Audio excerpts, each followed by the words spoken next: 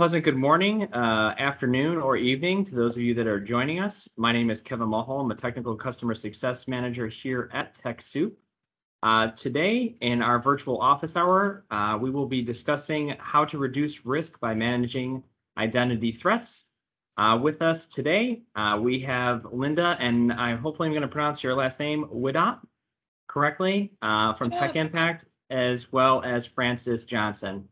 The chat is open. Um, when the Q and A session does come up, uh, you will be able to um, come off of mute uh, and ask any questions that you do have. This is going to be very uh, open and free flowing and topic, but uh, we hopefully can get some good questions. You're also welcome to put them uh, into chat.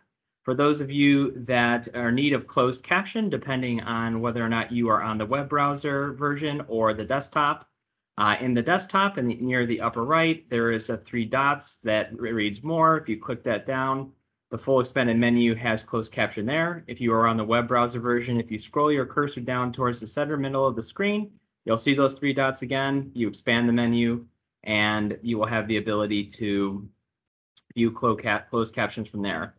Uh, so with that, uh, we're just going to go ahead and get into it and I will come off of mic and camera and let you have at it, Linda. Thanks, Kevin. Hi, everybody. Um, we're like, uh, as Kevin said, we're, we're a little bit light on the presentation piece of today's, um, session because we are, uh, hoping for some good questions and dialogue. So we're talking today about managing identity security. Uh, Francis and I work for Tech Impact. We're a 501c3 nonprofit um, whose mission is to leverage technology to advance social impact. So we provide technology services to nonprofits across the country and across the globe. Um, we, we provide, we do a lot of managed IT support services. We do a lot of cloud migrations, a lot of security work. We have a consulting team that does strategic planning. Um, data analytics and that kind of thing. And we're like a nonprofit to nonprofit tech services. We also offer education and training. So we do webinars and um, research papers. We do, uh, we produce the consumer guides that may, many of you may have uh, downloaded um, for nonprofits. We also run a workforce development program. So we're training um, young people to get their job, get their uh, start in the technology um, services field. So uh, here's a, a, link to our technology learning center. Um, if you want more information about, we, we do have some information about identity management and security stuff right there. So you could just go to techimpact.org and look for our technology learning center. Um, I'm Linda Widdop. I'm the oh, who knows what I am now, the chief customer officer. I know, like my title changes. It's all ridiculous. Um, I've been with Tech Impact for almost 20 years, and um, I basically do new business development and manage our account management team. And with me today is Francis Johnson. Look, I got your title right. There you go. Uh, hi, everybody. So yeah, my name is Francis. Uh, I am the Chief Technology Officer at Tech Impact. And essentially, I just manage a lot of the, the technical side of things. Um, so we, as Linda said, we do provide a bunch of technology services, manage IT support, cybersecurity, uh, infrastructure, et cetera. So I, I manage a team uh, that delivers that to you know uh, nonprofits all across the United States. And, and the thing, of the interesting thing is that you're also our chief security officer. That is true. That's true. for our internal, right? that is true. Yeah. So you manage all of our internal security. Internal, yeah. Right. Uh-huh. So at Tech Impact, we have 110 employees. We have four offices in the US, and then we've got people, you know, working remotely from who knows where. And you're managing all that for us internally.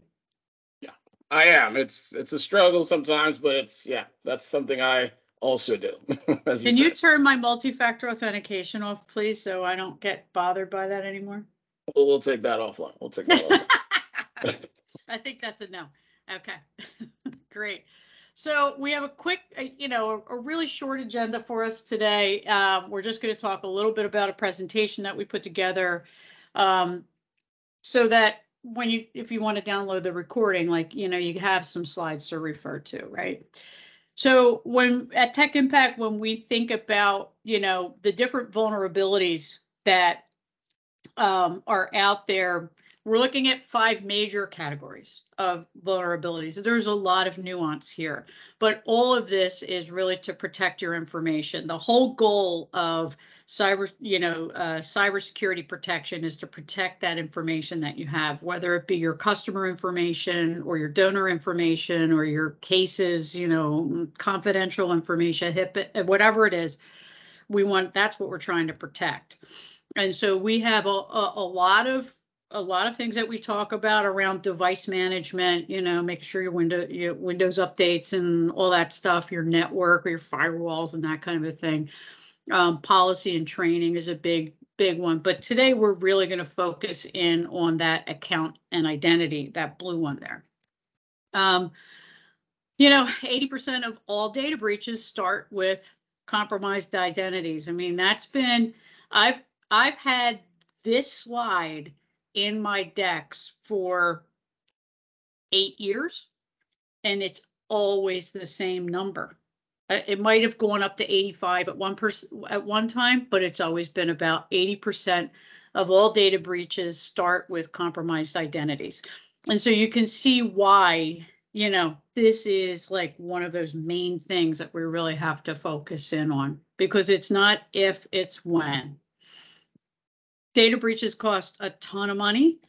Um, we're talking about dollars here to recover from a data breach, the investigation, the workstation network and server recovery, the user credential recovery, and all of that restoring the data back to normal um, costs, you know, thousands and thousands of dollars. In addition to that work that, and, and this is like, this is the part that Tech Impact does we do all this stuff and and the the people who you know are on Francis's team are you know asked to do this kind of work and we have to charge for that work. So even though we're a nonprofit we're charging other nonprofits to do this work because we have to you know account for our time. Additional costs could be for legal guidance breach notification. So if if, you know, I mean, we've all, we've all had this happen. I think we've all had this happen. I have. I've gotten notification from, you know, a bank or a, you know, Home Depot or, you know, something like that. Hey, we think your data's been, may have been compromised. So that has, that's that notification that goes out. And then there's that credit monitoring, right? I've, I have personally received three years free LifeLock um, because my information got out from, I, I think it was my old college. I don't, you know, I don't even know how it happened. Um, and then there's the forensics. If if we need to, because we're under contract with a government or we're under a compliance where they want to know how it happened, we have to do that forensics. That also cost a lot of money. Um, this is the stuff that Tech Impact doesn't do, but you'd have to hire somebody else to do it. And then there's those intangible costs, right? That especially as a nonprofit, we're talking about lost trust from funders, from donors, from volunteers. If you're an organization that provides, you know, meal assistance and you've been compromised and that gets out, um, a donor might say, eh, I'm not really confident that I want to give my money and my my information, my credit card information and everything to that meal program. There's another meal program down the street. I'm going to start to donate with them. Um, I have I was at a conference two or three years ago where a, a major international um, care organization the guy got up in front of everybody at this conference and just let it all hang out. And he said, we, you know, we were breached and we, you know, had all these servers and all the servers were compromised and locked out. There was one server in our African office that happened to be down for maintenance. It's the only reason that we're operational today.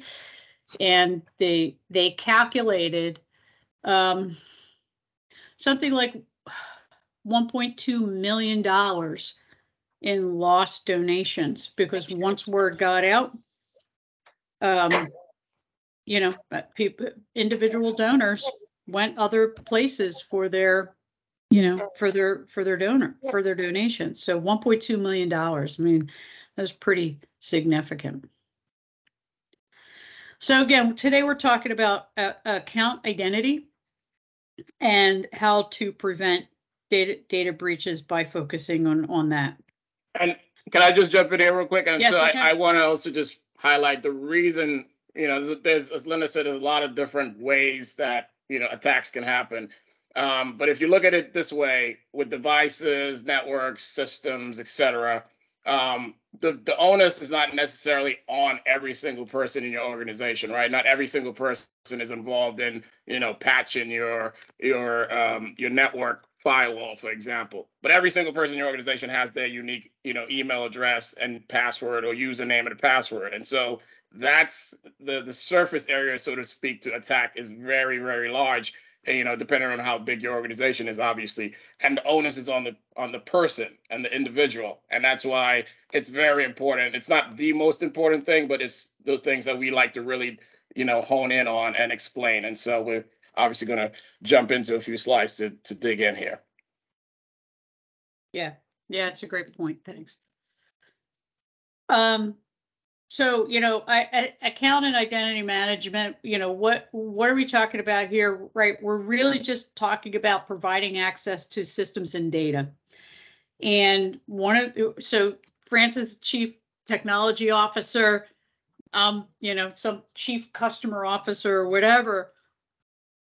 But we really need to also talk about this from an, a human resources or an HR perspective mm-hmm. because employee on onboarding and offboarding, right? We have to make sure that our new employees and new staff have a policy that is presented to them that they understand and that they agree to in terms of, you know, computer use policy and that kind of a thing. But the HR person and the technology person need to work together to make sure that we're doing the right things, providing unique accounts. And that's hard for a lot of nonprofits. Sometimes we need to get into these systems that cost us a lot of money. And we go, you know what? Instead of buying 10 user licenses, we'll buy two user licenses and we'll let everybody share them. Right. And so from a data, you know, a, a identity perspective, that's not a great idea. Um, creating passwords and making sure that everybody understands that they have to have uh pass you know 16 characters or whatever it you know whatever it is with upper and lower and weird things and all that or pass phrases. Um and uh, and having centralized account management right? This is back to that hr and it director. You can't let everybody be an admin into every system because then you know things go awry and we don't really have it locked down properly.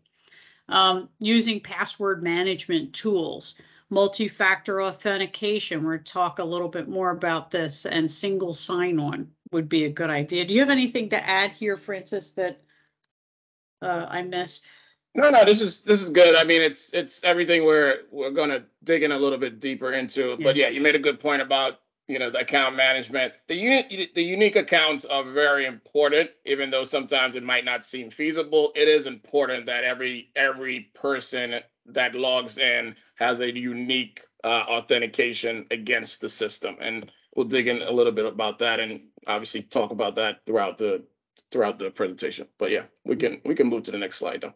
Right, yeah, I mean, so for password practices, you know, I, I, think this is pretty, you know, common knowledge, right? Yeah. Make sure you could, you know, make your passwords as long as possible. On the last slide, I had sixteen, now I have twenty.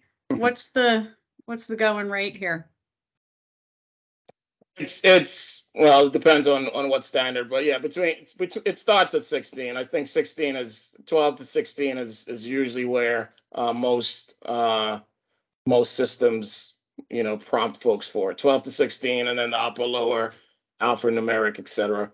Um, Do you agree with the use of pass phrase, or would you rather just see a jumble of nonsense No, I think that the reason you do a passphrase is so that it's easier to remember. Because the other po- the problem with complicated passwords is that it is hard to remember, and I think we're going to talk about how to help with that in a from a tool perspective. But the reason you do a passphrase is so that you can actually remember to type. You know, you can remember it so you don't have to write it down on the infamous notepad on your on your computer screen, right? Because that's not what you want to do there too. So the passphrase thing is really for the the end user to be able to have a long password and also not forget it and therefore have to write it down because you never Mhm. want to write down your password, right? Yeah. And, and the, the number two thing here, don't, do not reuse passwords. A lot of the systems that we use will not allow us to Yep. use an old password. Like if it says, you know, create a new password and I try to put an old password in, it kicks me out and says, nope, you've already used that. You have to choose a new one. Right? Mm-hmm. I mentioned, I mentioned earlier that I got, I had it, I received a notification from like a college that I have, like, you know, look at me, I'm old. I haven't been in college in a long time, right? But somehow my user credentials got out. Um, that's a good reason, right? If I, if I if they stole my old username and password into my old college, you know, login and some years later i start like it's not good. So uh, i'm okay right? They got my my they maybe got my name and uh, you know information but when they tried to put that old password in somewhere it's no longer valid anywhere except if i start to use it again so if they've already gotten it and i start to use it again then now i just open myself up again so that's no good um you know don't share passwords unless you absolutely have to. I can't think of one reason why I would absolutely have to share a password with anyone. I don't even, Francis, you don't know my passwords.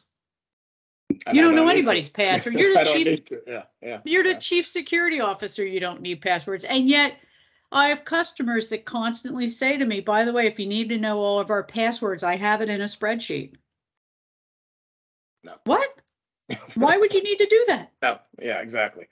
Right? That is not the good, yeah, that's not a way to, to manage passwords. There's, there's definitely better ways to allow people to manage their passwords, but yeah. Right. Mhm. So uh, I know a guy who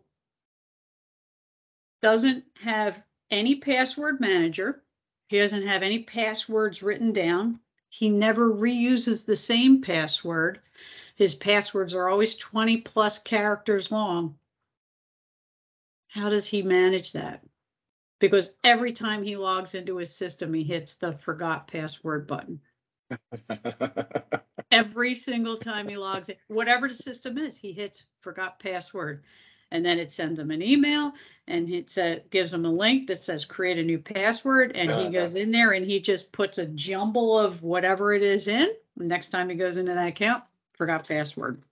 Hmm, How's that for a tactic, right? Yeah, I can see some holes in there, but we can talk about that.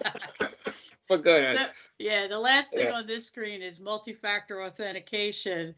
And, uh, you know, what, what is multi-factor authentication? You, would you like to explain this, uh, Francis? What, Yeah, what yeah. is it? in its simplest form, it's just a another way, right, factor to authenticate against the system, right? So we talked about passwords, right? And so you put in your username and password, you've basically that's your first factor of authentication, right?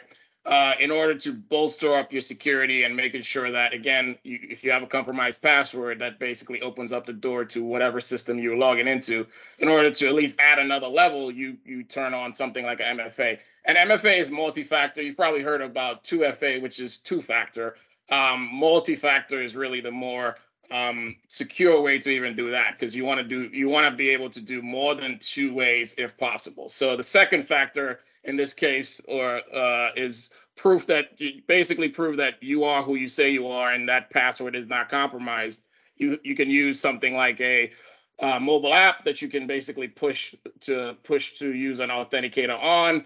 Um, it is not. I don't really recommend this, but this is something that, a lot of systems still allow, which is an SMS text to your phone, etc., email, wh- wherever wherever you can uh, basically have set up to essentially send a additional layer of uh, authentication to. Uh, and then, you know, if you want to go beyond that, then it's you can do things like, you know, conditional access with multi-factor. So it's not just that you put in your password and that you authenticate it. You also have to do something like be using a specific device or be in a certain location so that there's really additional ways to prevent uh, a compromised password or a compromised phone number or whatever to to allow somebody to get in. So Yeah, and, and, and the, the theory behind multi-factor authentication or two-factor authentication is that even if a criminal got your username and password, they probably don't have access to the physical device that Yep. you would want to get that to, right? So they don't also, in theory, they don't also In have theory, your cell phone or they don't also have your laptop. So you, you know, that's the way that they can do that. Um, and, and as the chief security officer, you're managing all of our internal things. Do you see that if that happens? Like, do you see, um, cyber criminals trying to bang up against our, like, trying to log into our accounts unsuccessfully because they don't have the multi-factor authentication? Is there like a log that you can see on that or? Absolutely, yeah. So we we use um, Microsoft 365 for most of our our systems uh, internally, um, and so there's additional tools within the 365 stack, and they have a security stack and have a bunch of add-ons, et cetera. And that allows us to not only you know react to certain things, we can actually see things as they happen. So in this month of October, which is Cybersecurity Awareness Month, but it's also a a really uh, busy month for hackers uh, we've been really getting hammered uh, on our tenants specifically and um, basically understanding where things are coming from. So i can see where you know attempts are coming from and they all fail uh, mainly because they do not even have the first uh, attempt which is the password. So nobody's Right, password's right. compromised and therefore it's just failing at the first attempt. And there's a bunch of things that happen when once that happens. We have you know account lockouts and things like that. So yeah i mean being able to monitor that and see how it's going and basically, even if so, in the really the question comes down: if somebody were to compromise or have access to any of our internal accounts, the the attacker would get in the first with the first factor, which is the password, and then they will be basically prompted with an MFA prompt, right? And then I can at that point, then there's a bunch of alerts that come out because then it's it comes down to uh, somebody just logged in with Linda's account from you know, North Dakota. And that's not where Linda is usually. She's usually in the Philadelphia area, unless Linda just traveled to North Dakota. You know, five minutes from when the last time I talked to her, that's a very bad, you know, that's a weird location for Linda to show up all of a sudden. And so there's Yeah. an alert that goes out.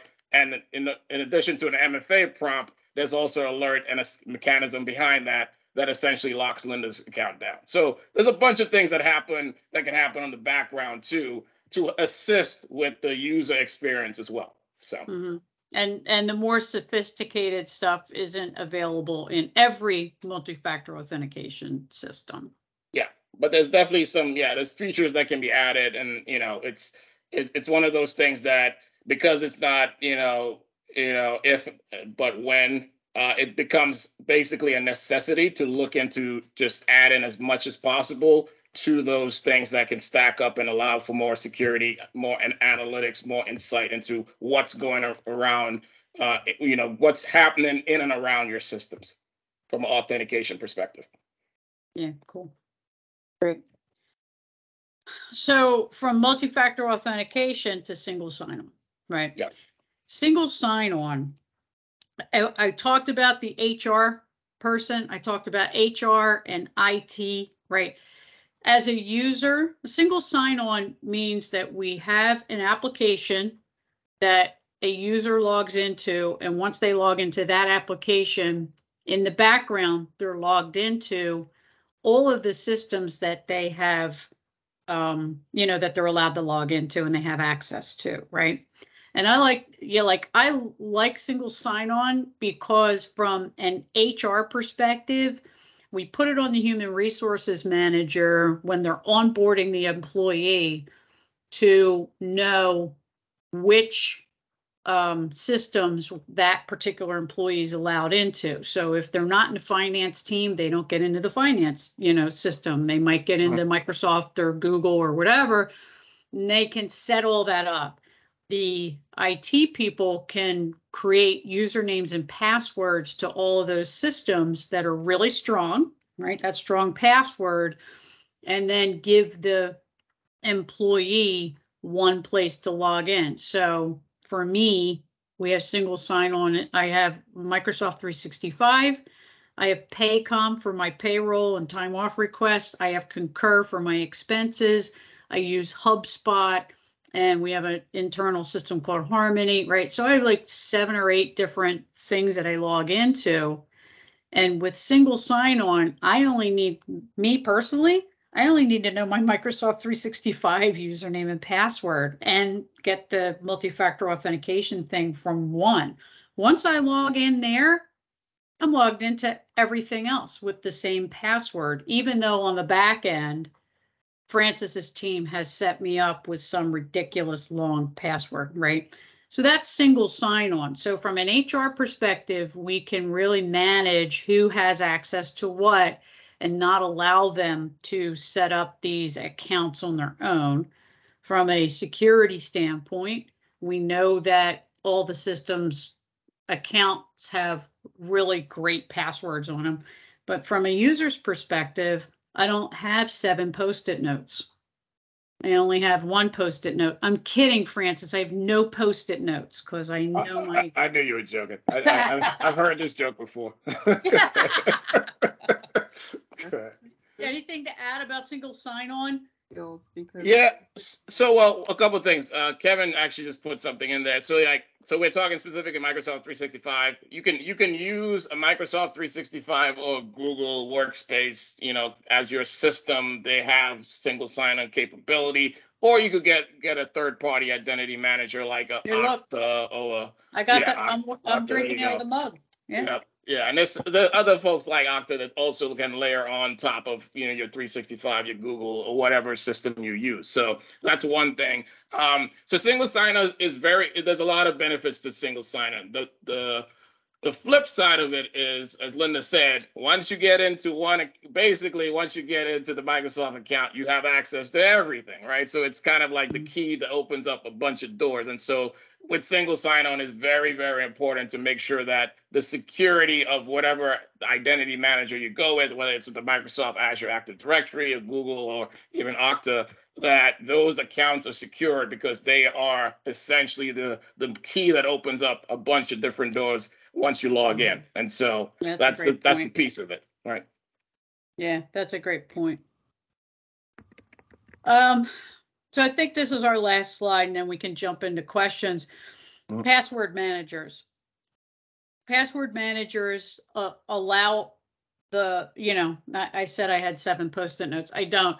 I have a password manager, right? So every time I do need to set up a new account, like even for my personal banking and all that stuff, right? I put all that, my uh, I could tell you the one I use the most often is my American Airline frequent flyer password.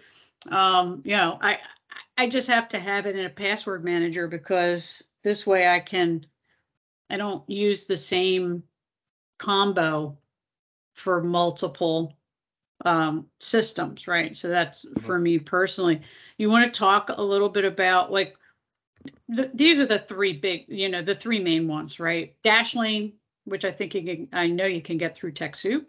LastPass, which a lot of people know about and use, and then the other one, Keeper, that maybe not a lot of people on this call are for, as familiar with. You want to talk a little bit about those password managers and any differences that you might think?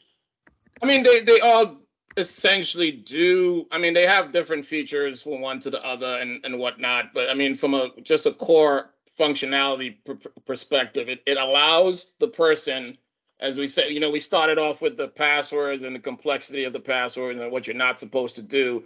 Um, in order to take all of the the the hard work of figuring out your 20 plus character password, you use one of these things, right? You use one of the the tools that we, we have on this slide, right? So they it allows you to generate a password. It it it, it basically securely saves it into your vault, and it basically gives you a, a quick access to it. it. All of them have, you know, um, browser extensions. So if you use Chrome and you have to log into a bunch of websites differently, you can basically have them attached to um, uh, Chrome or you know Edge or Firefox, whichever browser you like to use.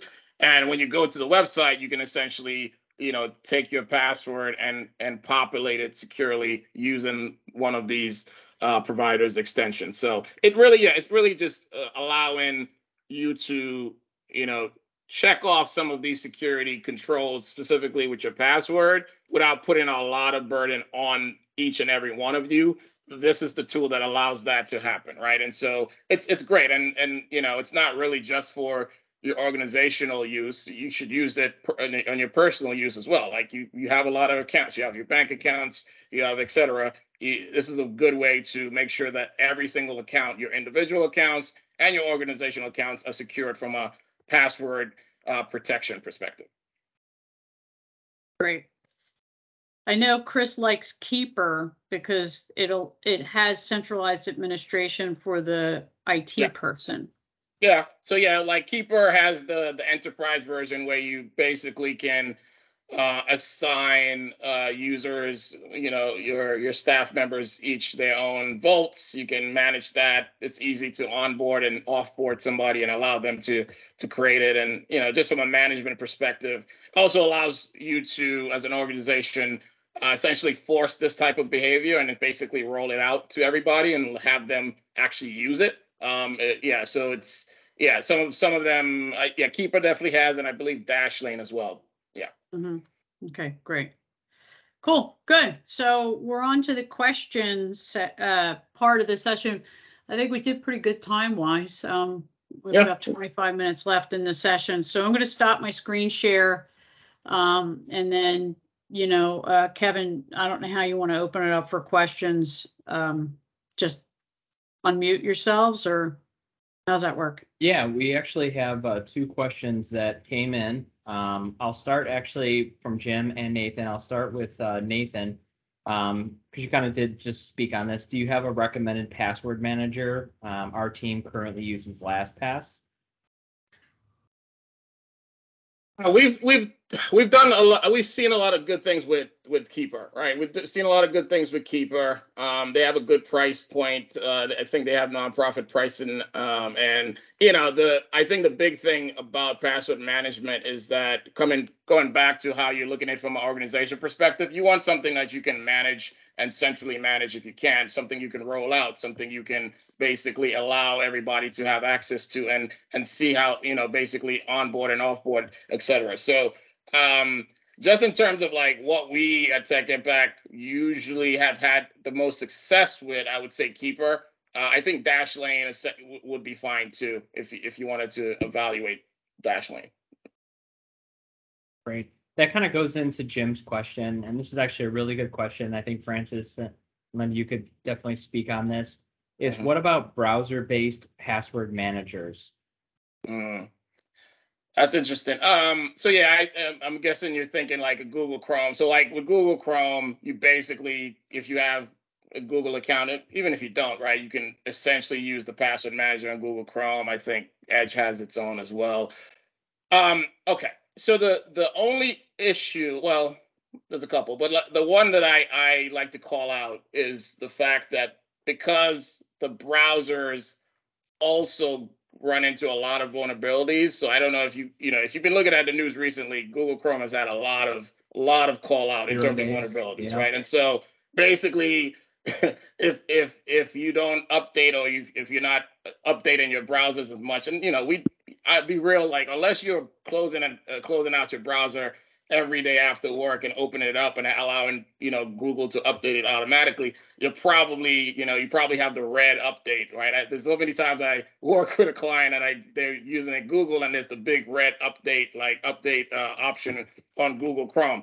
You if you're if you're somebody that updates your browsers regularly and making sure that you're on top of things in terms of vulnerabilities, Sure, but I, I think the problem there is that if you're not, and essentially your you know your your Chrome and your account, your Google account and your Chrome account is is exposed, and then you have a bunch of passwords that are just lying there as well. there's there's you know there's basically a bunch of risk attached to that as opposed to having something that's separate even though it might have an extension on chrome it is separate and and not you know involved at all in terms of how the how chrome's vulnerabilities work so i like to separate some of my if you think of it i like to separate systems if you can right not put everything in a one one system not you know so like that's why you would probably do something like an Okta for single sign-on as opposed to using everything in Microsoft 365. Just making sure that there's enough enough separation. Um, we call that air gapping, so to speak, so that that if some if one of your systems were to be compromised, maybe not by yourself, but the, the, the vendor itself, you at least have something separate so that everything doesn't go down at the same time. And that's the same when you're looking at your network or anything like that. So um, I would just be careful about using a browser password manager uh, for some of the things I just mentioned, um, and just keeping it in a separate and a secluded uh, system like a Keeper or Dashlane or LastPass. Yeah, they went on, uh, Jim followed up a password manager from Okta that's integrated as Yeah. part of it. Yeah, I totally, Francis totally hit it on the head, is that needing to have that degree of separation, if you follow anything in security news, all these Chromium browsers, Edge, Firefox, Chrome, the amount of attacks that they face Yeah. uh, is just overwhelming, so. Yep. I got another question here from James. Any comments on Norton three sixty password manager? I haven't used it, but keep getting reminders. Keep getting reminders. Okay, I'm glad that you laughed first. It's not a bad thing. It's all of us keep getting those reminders and it's Yep, the thing that we just kind of that's put off, it seems like as much as we can. Yeah. Um, I haven't evaluated Norton in a while, to be very honest. So I can't give a you know a straight up answer about it. Um, so yeah, I, I don't have a direct answer on it. You know, I laugh because we all have dealt with Norton in some capacity. Um, but I haven't looked at their password uh, password uh, manager system yet. Uh, so I can't say yes or no to whether you can use it or not. Um, Yeah, I, I used Norton, uh, it's, it's now called Norton LifeLock Password Manager. I use that on my, you know, personal, oh, so you do okay? for my How personal stuff. It's fine. It's easy to use and, and it's pretty secure and, you know, and, and quite frankly, for, I, it's free. I think I might have gotten it because of that data breach that I referred to earlier. Like I, th- I think, you know, the college was like, hey, you know, we're sorry for the breach, sign up for all this stuff. And I did. And it was, you know, I like it. It's easy to use. It's not an enterprise solution though. Yeah, Right. yeah, It's, yeah, it's for my yeah. personal stuff and it's where I keep my bank account stuff and my frequent flyer stuff. So that's all I have, really have to say. Okay. Uh, looks like we cleared out the, uh, Q and A portion here. Um, let me see if there's anything else question wise in the chat. And it doesn't look like there is. Uh, I did want to close, as I mentioned, um, uh, earlier. Um, oh, actually, somebody put their hand up. Uh, Stephanie, you're welcome to come off of, uh, mute and ask your question.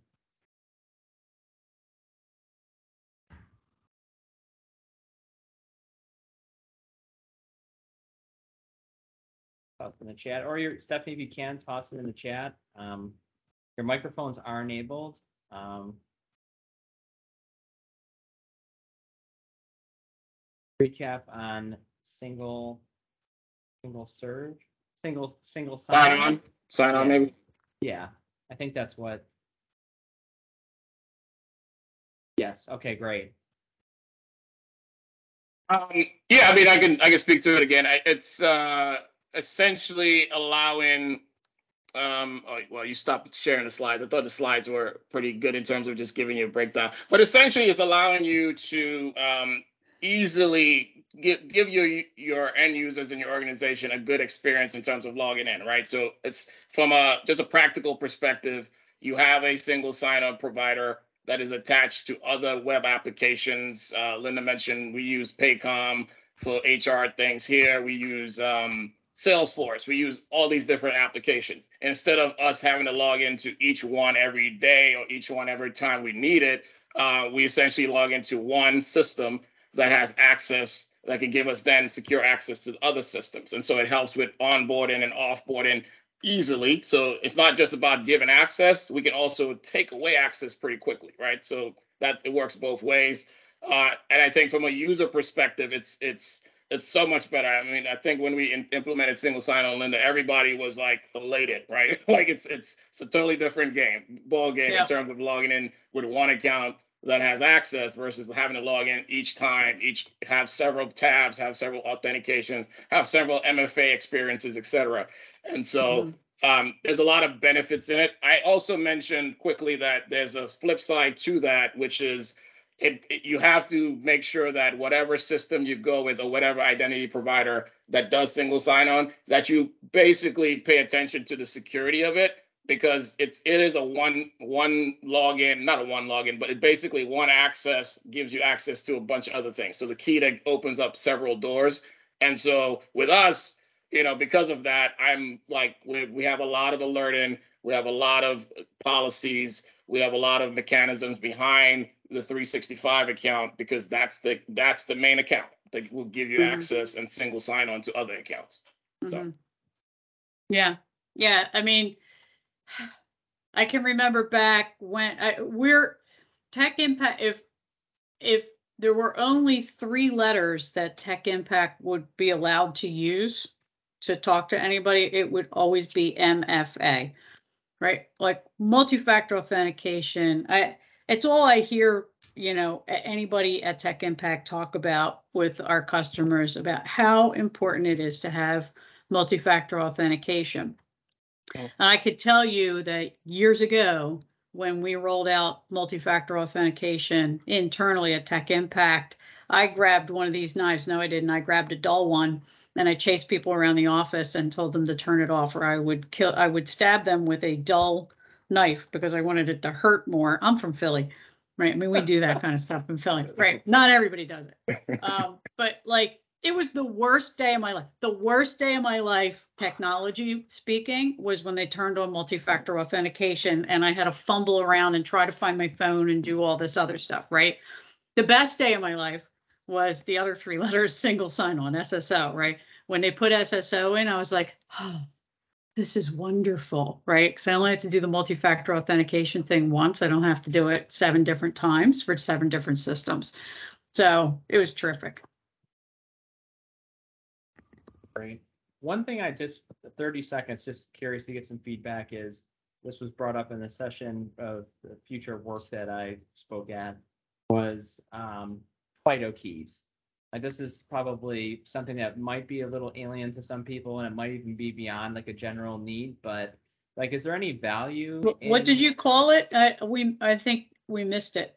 FIDO, FIDO, FIDO, FIDO, FIDO FIDO. security keys Mm. or even Fido like the dog?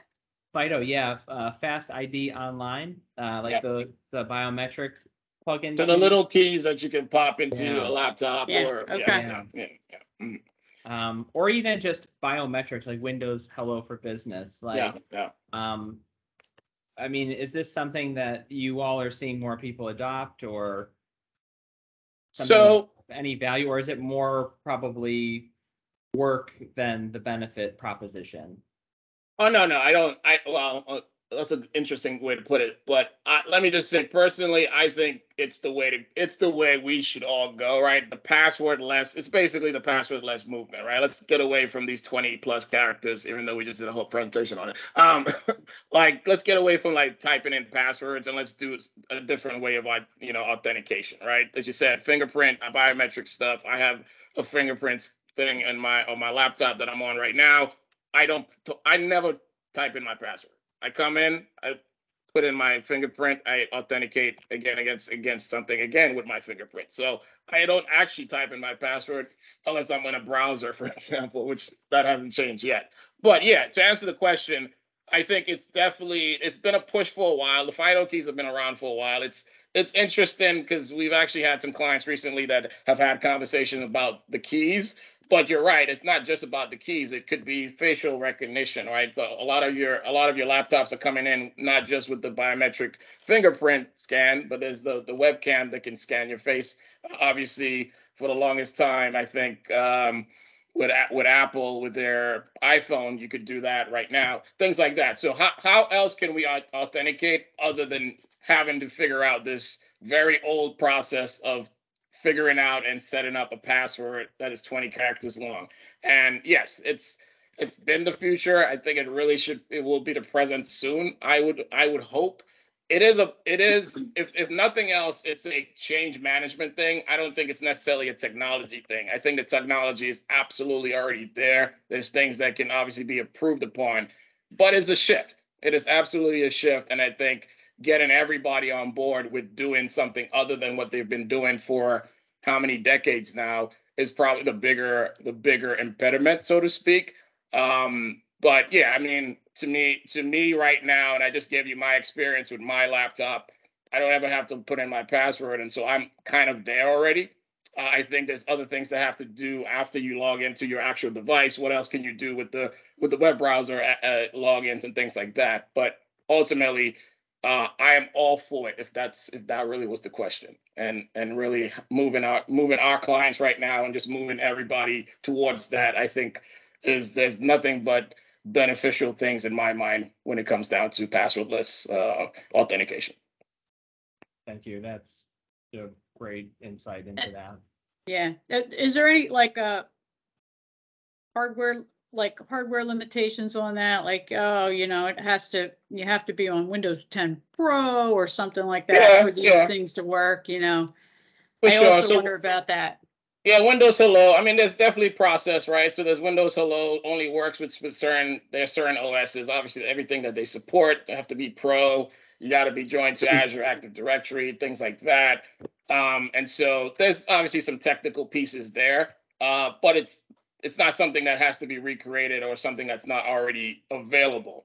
It's all about adoption, as I said before. It's Mhm. like, are we can we adopt it quick enough so that everybody can start benefit from benefiting from it, so to speak. Yeah, because I mean, Ka- Kara's in the chat asking about, you know, do, do we recommend three sixty-five for MFA? And, you know, the answer to that is yes, if you're in three sixty-five, you know. Yep. Then, then you should also be adopting Azure AD and doing Cloud Join for your workstations and, Mhm. but there's a limitation to that. You have to be in Windows ten Pro for that Cloud Join to, to, and, and Azure AD to take, take effect, right? Mhm, mhm. And, Yep. and using Intune for policies and mobile device management. This is all part of the three sixty-five, you know, ecosystem, if you will, um, which requires, you know, you have to, you have to know your licensing and, you know, basic multi-factor authentication you can do with any Microsoft license. If you want to start get some of that sophisticated, um, you know, setup that we were talking about, it requires an EMS license, right? Mhm, Which is mhm. included in Business Premium, Mhm. the AM EMS, but if you're in a different, you know, the enterprise versions or whatever, then you're gonna have to connect Mhm. in with the EMS licensing. So there's a lot to it, um, Yeah. but it, it can all be done. Yeah, I, you're right. I think the cost is important. I don't I don't want to brush off that there's some cost involved for sure. Like like a lot of this, the a lot of the things I'm talking about have additional cost involved. Uh, you know, ultimately, you know, every any vendor you're working with, not just Microsoft, has will have some type of technology like this. It's just a matter of whether it's part of the, you know, the basic basic package, which is usually is not, and what it what does it cost you to go up to the next level so that you can actually adopt some of these technologies. Yeah. Right.